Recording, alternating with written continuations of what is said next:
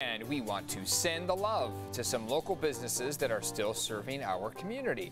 Frank Motors is offering healthcare workers and first responders a complimentary oil change and inspection. This is at their Toyota, Hyundai, and Subaru dealerships in National City. Frank Motors says they want to do their part to say thank you. And All German Auto in Escondido is still open. Viewer Megan told me about this place, saying she wanted to send some love to the business, which is open daily. We will continue to give a shout out to local businesses every day here on News 8.